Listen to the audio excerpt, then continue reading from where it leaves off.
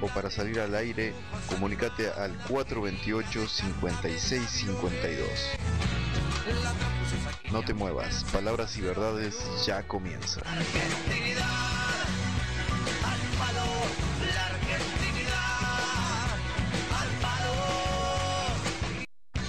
A continuación, palabras.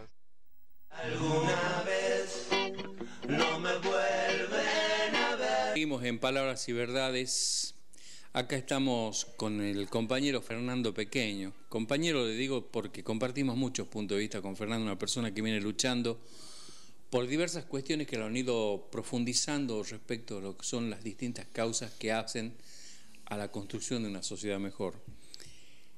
Por supuesto, ustedes me dirán, bueno, pero está en este gobierno, en este gobierno hay injusticias, hay cosas incorrectas. Bueno, en todo gobierno, en todo momento han habido cuestiones que son injustas. Pero ¿qué más importante alguien que aspire a estar dentro de lo que es la estructura de gobierno para que desde esa posición, una posición que sería una parcelita dentro del poder, pueda llevarse adelante lo que es la reivindicación de usted y de mucha gente?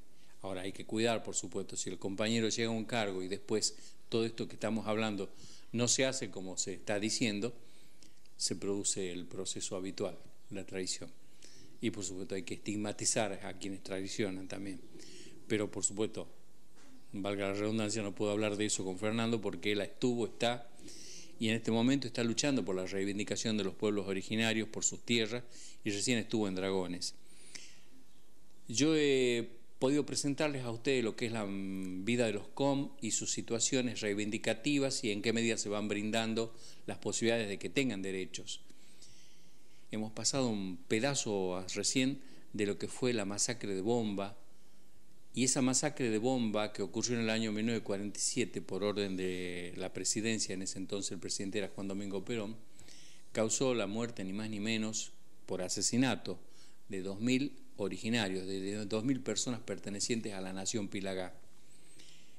Entonces, cuando vemos la persecución y la muerte de gente que se trata de hacer entender como hechos aislados en el presente, cuando vemos la persecución de otras personas que también al presente sufren persecución, exclusión de la posibilidad de vida, cortándosele el agua, cortándosele todo medio que le dé posibilidad de pervivencia en el lugar donde se encuentra, y cuando vemos esta masacre del 47, no podemos establecer que una línea que empezó en 1492 hasta la fecha, con distintas variaciones y modificaciones estéticas, se va sosteniendo en el tiempo. Sobre eso y otras cuestiones, con Fernando Ragone, a quien presento ahora y le doy la bienvenida al programa, trataremos de sacar, de poner blanco sobre negro y sacar algunas conclusiones que nos permitan a nosotros figurar ante ustedes como personas que elaboran algo que tiene un contenido de una cosa que escasea mucho, que es la inteligencia. Bienvenido, Fernandito. ¿Qué tal? Bien, Raúl, el gusto de estar con vos hace un tiempo, desde el último asado electoral que no nos vemos. Compartido acá en este, en este canal, en esta casa tan, tan linda y tan cálida que vos armás, ¿no? Para que todos nosotros podamos contar de alguna manera las cosas que hacemos. Así que siempre, como siempre, te agradezco la invitación. Vale, la verdad que esto no es cosa mía, no es cosa de todos. Qué bueno. Acá es ya, la cosa mía es parte del pasado y el cosa de todos es el presente del canal este que es una cooperativa. Así que ahí estamos funcionando. Pero el tema de hoy es eh, amplio y quiero saber qué es lo que estaba haciendo por la gente, su tierra allá en el Chaco Salteño. Bueno, mira, realmente veía algunas de las imágenes que vos ponés acá recién y escuchaba atentamente cómo trazás vos ¿no? la historia eh, de matanzas que hubo en este país de compañeros originarios, de indios, de, de de tantas razas. Eh, nosotros desde la Asociación Ragone tenemos una preocupación que tiene que ver también con una vieja idea de Miguel Ragone que le da nombre a, esta asociación, eh, que era una preocupación por cómo vivían la gente eh, originaria de la tierra en el norte. Yo me acuerdo haber acompañado a mi abuelo, a mi, a mi padre luego, en las famosas pescas que hacían los hombres de la casa al Bermejo, tal vez alguna vez al, Pilcomayo, y ahí haber tenido mi primer contacto con, con indios. ¿no? A mí me gusta, Raúl, decirles indios porque me parece que por ahí este, está bueno decir las cosas sin, sin ningún ayornamiento, a veces pueblos originarios, no sé me da igual el nombre, pero lo que no me da igual es la, calidad de personas que son los compañeros. Hace poco, eh, hace poco, más bien a principios de este año, eh, algunos abogados que, trabajan en la asociación, no para la asociación, sino la asociación Ragone eh, es parecido a una cooperativa también en el sentido que mucha gente se va nucleando y va haciendo cosas que tienen que ver con, mejorarle la vida a alguna gente. Algunos jóvenes abogados han presentado un recurso de amparo eh, denunciando que en la localidad de Dragones, en zonas aledañas, eh, un grupo de empresarios arrebata tierras a los compañeros originarios. Eh, los divide, ¿no? es una estrategia que se viene haciendo desde hace por lo menos 15 años en Salta y en Argentina, dividir a, a los pueblos originarios darles trabajo a una parte, otra parte no, y hacer que se peleen entre ellos, que es hacer que se peleen entre pobres, ¿no? Una violencia de pobres contra pobres, bien dirigida, un sistema de aniquilación prácticamente. Y estas son imágenes que, estamos viendo que tienen que ver con esa visita que acompañamos desde la Asociación Ragone, en un momento en que el amparo presentado ante la jueza Montalbetti de acá de Salta eh, pide la jueza determinar efectivamente a funcionarios del Ministerio de Ambiente de la provincia que se tomen medidas sobre unos puntos satelitales, que había diferencias, para que había diferencias, teóricamente no tendrían que haberse tocado ni haber desmontado más alrededor, es un amparo para que, se paren los desmontes. Lo que vos acabas de mostrar está la tierra yerma, ¿no? No hay nada. Es una cosa impresionante el, viento, la tierra la y soledad sin límites. La soledad sin límites, eh, exactamente. Bajar el monte de esa zona es el paso previo al genocidio, porque genera todas las condiciones de ambientalidad para que se concrete. ¿no? Y además el alambre, el alambre que aparece en el, en el territorio de compañeros huichís, que que recogen chawar, que recogen cosas todavía para la supervivencia y que de pronto eh, un día aparezca un alambre sin que ellos tengan las posibilidades de defensa. Por favor, esas fotos así inclinadas no las saquen. Entonces, eh, bueno, ha sido realmente una experiencia dura, una experiencia este, interesante que a nosotros nos abre la, perspectiva de, ver que hay gente que, sufre, ¿no? que, de ampliar la perspectiva de la memoria, de las luchas por la justicia de los desaparecidos, y que tiene que ver con, lo que el gobierno de Miguel Ragone quería también. Eh, muchos compañeros huichís recuerdan a Ragone, los que estaban en el tiempo de Ragone ya se murieron, pero los hijos de esos huichís recuerdan a Ragone cuando fue a, poner una bomba de agua en, la loma frente a embarcación. Realmente hay una memoria impresionante de esos 18 meses de gobierno tan cortito, pero donde mi abuelo se preocupaba para que, para que la gente esa pudiera vivir mejor. ¿no? Entonces, concretamente, eh, en el pasado mañana va a haber una audiencia conciliatoria en la sala de grandes juicios de Ciudad Judicial, que paradójicamente lleva el nombre de Miguel Ragone. la verdad que esto es un orgullo, porque creo que hay que luchar eh, e intrometerse todo lo que uno pueda eh, en, este tipo de luchas. Y te quiero contar, Raúl, que eh, cuando yo fui a, esa tierra, conocí a algunos los funcionarios de medio ambiente que tienen que tomar, digamos, las medidas y, y trabajar por todos, digamos, por todos los habitantes. Y ha sido un, encuentro realmente nefasto porque he podido ver la connivencia que tenían con los finqueros y el desaire que tenían para con los propios wichis. Eh, y me hizo acordar mucho a algunos jueces y abogados eh, que tenían una gran familiaridad con los represores, pero después esos represores terminaron presos. Entonces creo que eh, la vida cuando uno lucha, de alguna manera, en algún momento, eh, hace presente la justicia. Por eso nosotros desde la Asociación Ragone queremos acompañar en todo lo que podamos este tipo de juicios. Ahora yo hacía el nexo, Fernandito, cuando hablaba de 1492, cuando hablaba de 1947 y la masacre de la Nación Pilagá, y el presente, porque parece que la línea continúa inmutable va modificando su estética, como mencionaba, pero la intención de fondo, con distintas maneras de presentarse de acorde a los tiempos, sigue siendo la exclusión del derecho a la vida. No hablemos de sacarle la tierra. Cuando acá se han hecho los grandes desmontes, y no hace mucho, cuando ha muerto gente en embarcación, cuando ha muerto gente en Pichanal, provenía todo esto de la supuesta indolencia que tienen los pueblos originarios de acuerdo a la interpretación de las autoridades de no entender su cultura, le han arrasado el monte, lo han dejado y dónde cazar su corzuela, dónde cazarse el guasuncho, dónde sacar miel, leña, su hábitat. Han arrasado su hábitat y esa gente está así desconcertada sin saber a dónde queda adelante en este momento, producto de la, de la desorientación que significa sacarlos absolutamente, desarraigarlos totalmente de lo que son sus condiciones de vida. Tenés toda la razón.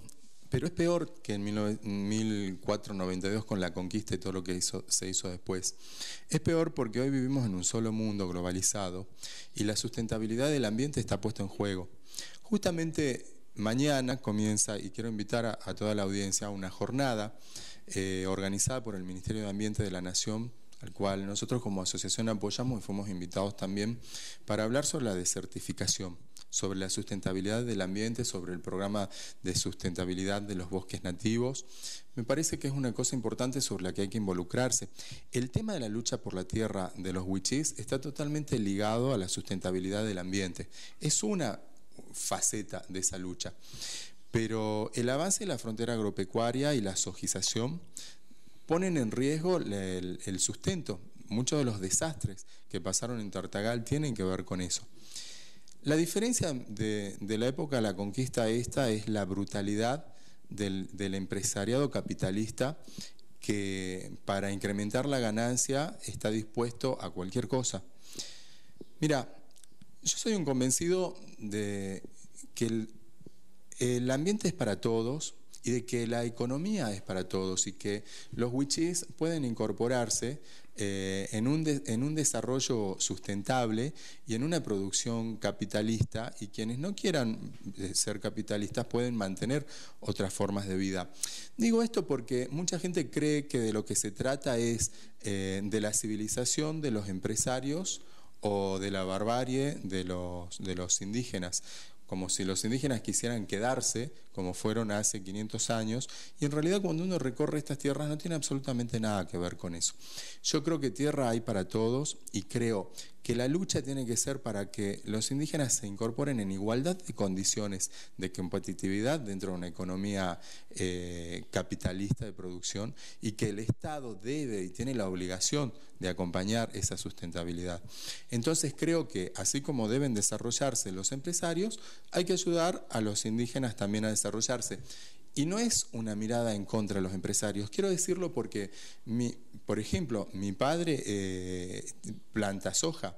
Tengo tíos que hacen desmontes. Tengo, yo vengo de familias que, que tienen que ver con estas luchas desde el otro lado también. Por eso entiendo lo que estoy diciendo. Pero creo que hay que ser racional en esas luchas. Lo que yo vi en Dragones es la brutalidad máxima de la rapiña y del racismo. Empresarios funcionarios de la provincia totalmente racistas, porque cuando vos los escuchás hablar sobre una misma tierra, ven un páramo desierto cuando al lado de esa tierra hay un indio, pero ven un lote lleno de vacas, ganadería, ganancia y demás, cuando frente a esa misma tierra hay un empresario. Entonces, eso tiene un nombre y se llama racismo. Eh, de todas maneras, cuando vos estás hablando de desmonte y enfocás la imagen que estábamos viendo recién. Podemos poner de nuevo la imagen que sacó, trajo en foto eh, Fernando de, Dragones. Eh, cuando vos ves esa desertificación, estás hablando que la desaparición del monte hace desaparecer automática e inmediatamente las condiciones de supervivencia de la gente. Todo. Porque ellos al no tener monte no tienen de qué, ni para qué, ni cómo vivir. Nada. Y es, es un tema que es un genocidio pasivo, porque una cosa es que agarran una ametralladora, como ocurrió en la masacre de la nación Pilagá, en donde en la bomba se ametrallaron a personas que llegaron a, en piras humanas, después eran, los antropólogos lo están reconstruyendo hasta la fecha, en piras humanas eran 200, 300 cadáveres que los quemaban. Eh, entonces, eso que parece un hecho monstruoso, en este momento, modificada la estética, se está produciendo exactamente la misma supresión del derecho a la vida por vía de sacar el bosque y la gente desaparece su medio de sustento y vida, que ancestralmente lo han tenido de esa única forma y está incorporado hasta genéticamente dentro de su cultura para poder sobrevivir esta forma de asimilación y de integración con lo que es el monte. ¿no? Pero además lo más brutal es la misma técnica del genocidio que utilizaron los militares haciendo pelearse entre hermanos. Vos, yo tuve oportunidad... Atendamos una comunicación. Bien. ¿Sí? ¿Qué opina de la permanencia de familias aristocráticas en el poder? Nos preguntan Héctor y María Livia de Barrios Castañares. Éxito Fernando, muy desenvuelto y coherente su discurso, nos dice José de Barro el Círculo. Bueno, muchísimas gracias a, la audiencia. Yo opino que la aristocracia en el poder por, por sí mismo eh, no es malo Creo que tanto la aristocracia como los pelagatos, por decirlo de alguna manera, cuando traicionan toda ideología en función de enriquecerse y de cerrarse sobre sí mismos, entonces tienen un problema. Y ahí el control ciudadano con el voto para poder ejercer la presión para que eh, el, gobierno, para que quienes transitan por los aparatos estatales se abran. Deben ser siempre permeables. Yo no creo, Raúl, que quien llegue a un gobierno tenga que quedarse más de una gestión, porque si en una gestión no se es capaz de, de, pasar la posta a alguien que pueda seguir, entonces estamos en un problema. El, el poder tiene que renovarse, por e, eso es la democracia. El tema es que la democracia para algunos han entendido todo lo contrario, Fernando, porque vemos cómo hay gente que se viene reeligiendo a través de, no de elección tras elección, a través de décadas. Creo que tiene, que tiene parasitan en un cargo, ya por decirlo de una manera, parasitan en el sentido que viven de la función en vez de ser útiles para la función que han sido elegidos o nombrados. Porque confunden radicalmente eh, el trabajo por un modelo político, por un modelo de gestión del trabajo con una persona. Realmente en estas últimas elecciones el estrago que ha producido el clientelismo, que ha producido el propio Partido Justicialista, que es mi partido, al que amo, porque tengo que ver con esas raíces de Miguel Ragone, por lo menos para este tiempo, eh, me parece que es lamentable, me parece que hay que cambiar muchísimas cosas. Yo he tenido oportunidad de trabajar con mucha gente que lo único que esperaba era, es como un trabajo informal, totalmente naturalizado, donde la gente dice, ¿qué me das? Y a nadie se le queda una idea de qué es lo que hay que, poner, pero fundamentalmente qué es lo que hay que controlar para cuando se pone, ¿no?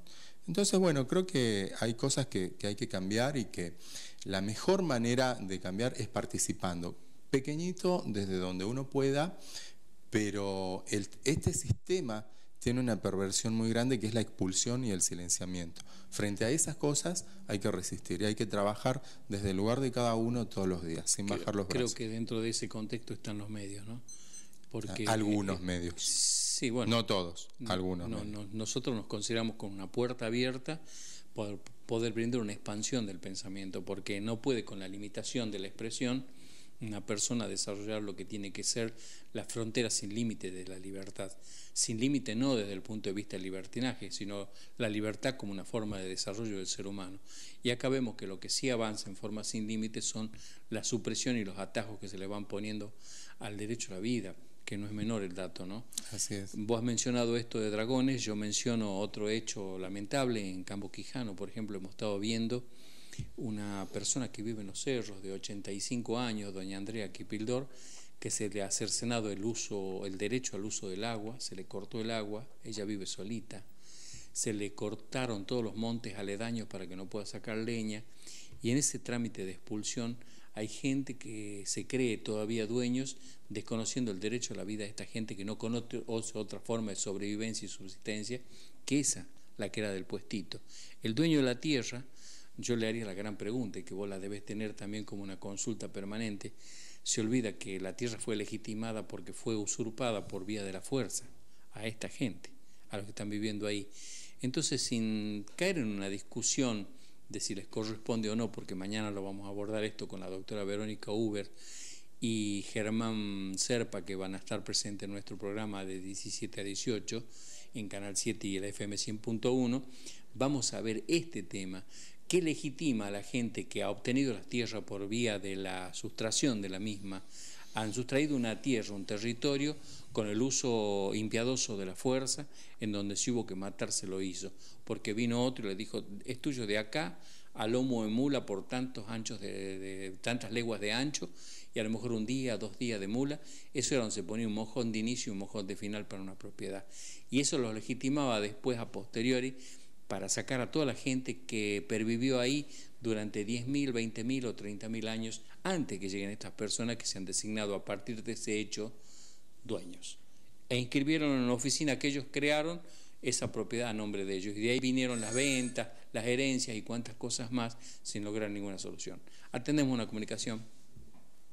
Fernando, somos testigos de tu lucha, dice Graciela de Barrio Juan Pablo II.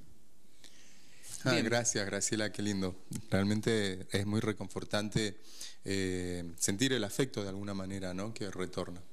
Así es. Eh, más allá del afecto, que es uno de los factores que nos motivan a todos tener un grado de reconocimiento por la comunidad, eh, lo más importante es no cejar en los principios que a uno lo llevan a poder tener planteos que son vinculados a eso mismo, a principios la otra gente, la que busca la posesión solamente o el poder para el enriquecimiento, ya no estamos hablando de principios, sino de voracidad.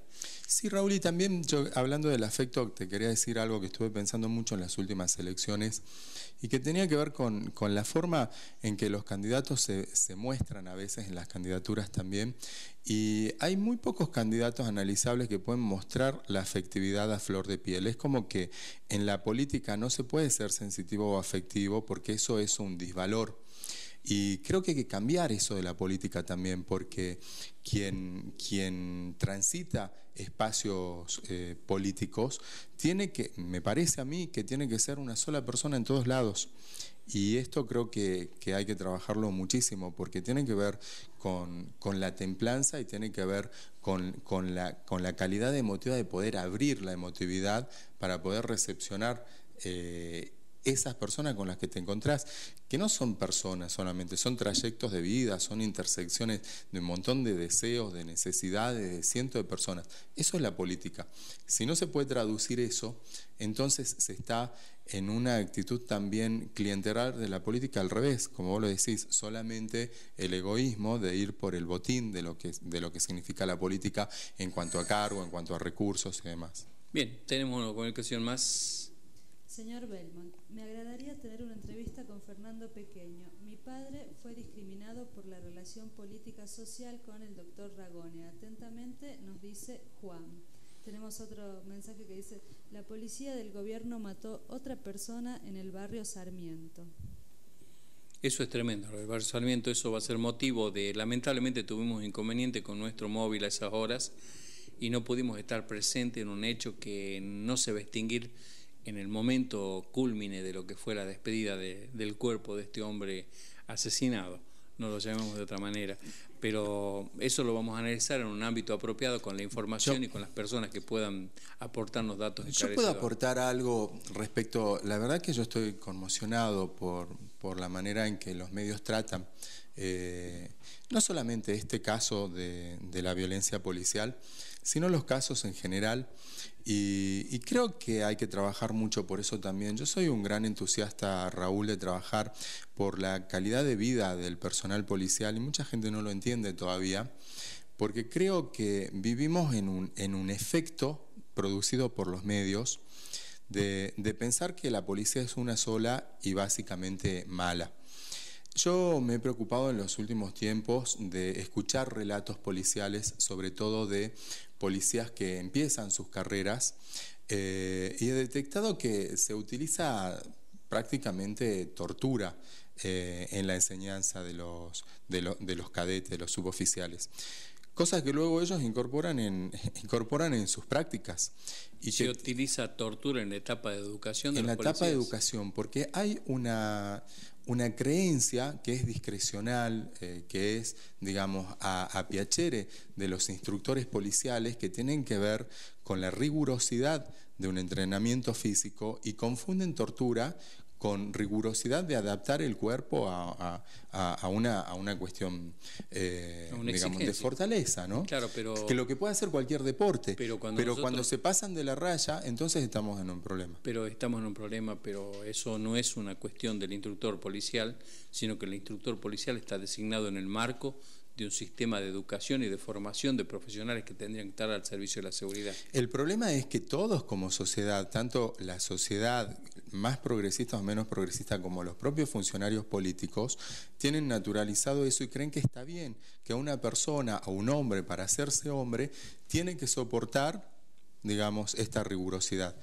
Y no hay eh, nadie que controle desde la sociedad civil, desde organismos de contralor a ese poder que la propia institución tiene sobre los cuerpos de los policías que se educan, de, de cuál es la raya muy fina y delgada entre la rigurosidad de un entrenamiento y la tortura lisa y llana y el abuso de poder. Luego lo vemos en escenas de, de torturas que se denuncian. ¿Sabes qué es lo más fácil para solucionar este tipo de casos? Echar a los policías como si fueran descartables. Y esto realmente es una preocupación de mi parte porque tiene que ver con la democratización real de la institución policial y con la ayuda real que podemos hacer desde las leyes, desde la discusión, desde el debate, a cómo se transforma una policía.